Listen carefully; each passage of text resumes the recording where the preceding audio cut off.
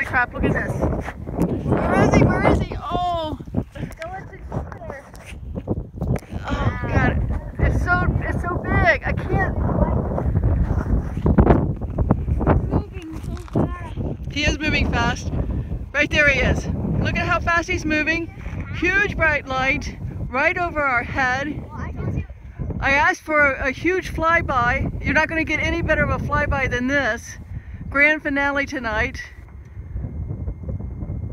Guys, what does the energy feel like? Is this amazing or what? To see how bright and how big he is? He's not blinking.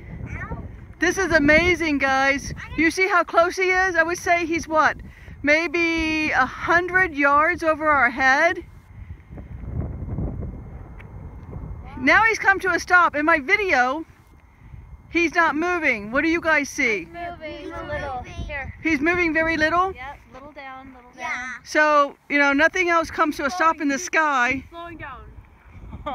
Now watch, he's just going to disappear. I think he's going to blink off. Because he's getting dimmer Yeah, yeah, and dimmer yeah. and dimmer oh and dimmer. Oh my God. There could be no better proof than what you guys just witnessed. That was the, the best UFO sighting this Oh my year by far. Look how, wow, Oh and he's gone. I got that one. Guys, what do you think? That, was that not truly amazing? SedonaUFO.com